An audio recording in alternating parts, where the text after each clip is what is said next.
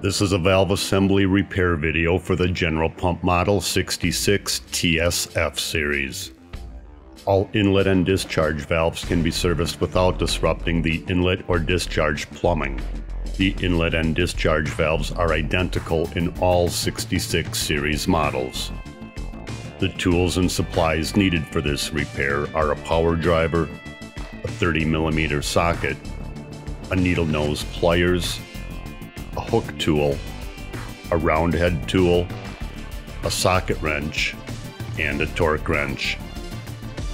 Use a 30 millimeter socket to remove the valve cap.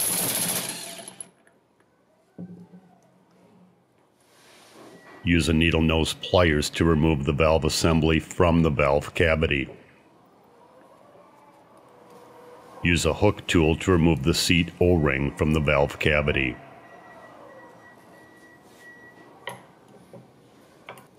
Inspect the manifold for wear or damage. Examine the O-ring. Replace the O-ring if there is any evidence of cuts, abrasions, distortion, or wear. Inspect all components of the valve assembly. This includes the retainer, spring, valve, and valve seat. Replace as necessary. Note that only one valve kit is necessary to repair all of the valves in the pump. A kit includes new O-rings, a valve seat, poppet, spring, and a retainer.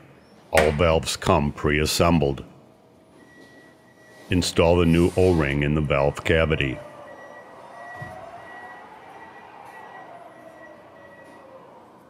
Insert the valve assembly into the valve cavity.